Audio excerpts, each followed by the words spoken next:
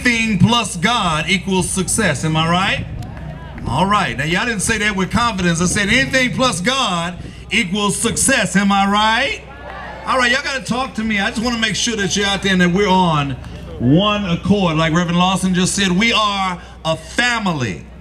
And let us be a family as we go through these proceedings on this occasion. Now, I serve as the voice of Emancipation Park. And at age 51, having grown up in this park, I recognize that over the next 50 to 60 years, I may not be around to see all the developments that take place in this park. And like-minded people on the Friends of Emancipation Park have seen fit to place our future in some very capable hands.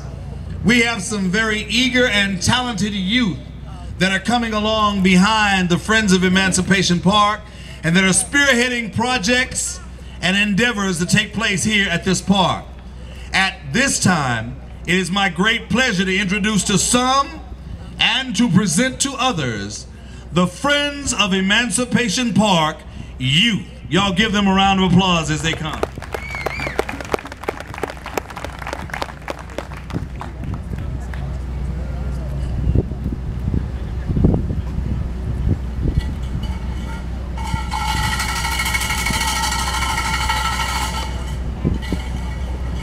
Good morning, ladies and gentlemen. You look very nice. Thank you so much for choosing to spend your time here today. This is a city park, and we have our city mayor here.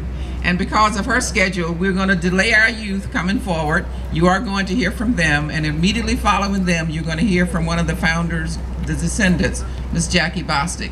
So we're going to turn this podium over to Mr. Lynn Cannon. Lynn, where are you? Come on up.